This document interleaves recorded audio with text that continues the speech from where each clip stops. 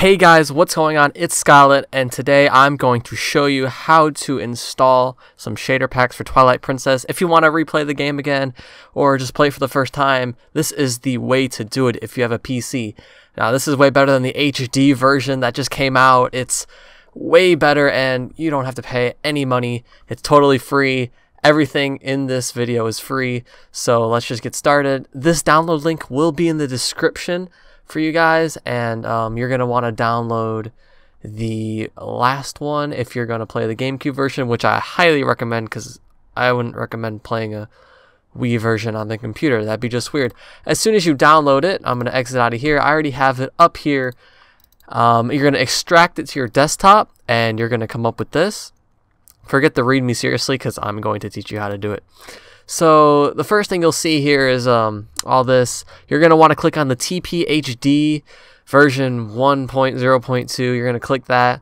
Now, as soon as you go in here, I already have it set up, but it's going to be, um, you're going to click this and you're going to choose where it's going to gather ISOs from. Now, if you don't have ISOs of games, you're simply going to go to Emu Paradise and click it and then just search up Twilight Princess.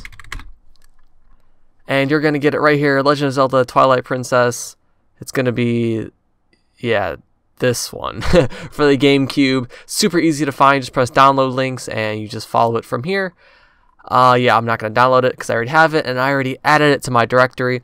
So as soon as that happens, um, we're, it's the, the shaders are already pre-installed in the download.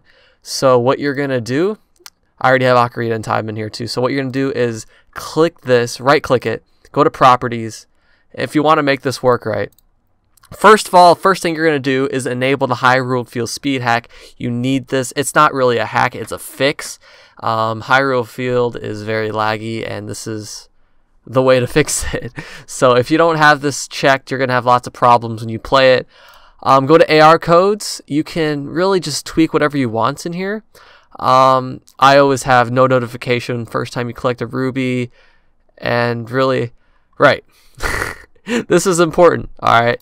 So you're gonna, um, you're gonna add this widescreen hack. This is the code. So if you need the code, pause this video and type in this code. Um, I, I it might be pre-installed, but for me it wasn't, so I added it myself. So this is the code. You're gonna click add right here, and you're gonna add this code to make it look better. Um, I'm pretty sure it might be pre-installed, but for me it wasn't for some reason, so I just wanted to let you guys know. Uh, Gecko Codes file system. You have to you don't really have to worry about that. So as soon as you're done with that, go to graphics. Now it really depends what kind of um, processor you have. Uh, you really want to use a dedicated GPU. I mean, Intel graphics, I don't really think is going to work on the shader pack. It would work on the game, but not really the shader pack. So I have a GTX 1070, so that would work. Uh, for this, you'll be fine with uh, DirectX 11. I had no problems with it. My graphic card supports DirectX 12, but I don't really need to use that. For this, 416 by 9. Always force it. Um, you don't want the uh, the slim 4 3 screen and um, that widescreen hack that I mentioned earlier will fix whatever. And here you're going to select, if you have a 1080p monitor, always select this one. Um, if you have a graphic card like mine, bump up all the settings. Widescreen, okay, yeah, we already enabled that in the um, other part. You don't have to worry about anything else. Just enable what you need. And you're going to go to post processing. The shader that you want is vanilla high, but if, you know, if you're crazy, you could do Vanilla Ultra if you really want. But I'm pretty sure this pack comes with Vanilla High. So we're just going to stick with that and we're going to press add. And really, that's about it. So what we're going to do, I'm going to grab my PS4 controller, wherever that may be. It's right here. And we're going to launch the game. Audio. Oh, yeah. Yeah. Uh, shit. Um, I'll be right back. And we're back. That was not the emulator's fault. That was my voice program fucking up. But uh, yeah, if it all works, you should come up with a screen like this, and we're just gonna press a button. My PS4 controller works, so if you have one of those, good for you. Um, you can also use really any USB controller and plug in your computer. I wouldn't really recommend playing with the keyboard and mouse. It just it doesn't really work that great. I'll just tell you that. And if you get this, the Twilight Princess HD project, you've done it right. Now, um, we're going to load in a game. They gave us a pre-built game, but you can obviously just make a new quest log if you really want to play it through. We're just going to go into this pre-built game and check it out. I'm not using full screen because it might fuck up my recording or something, but this is going to take a little bit to load because... Oh, never mind.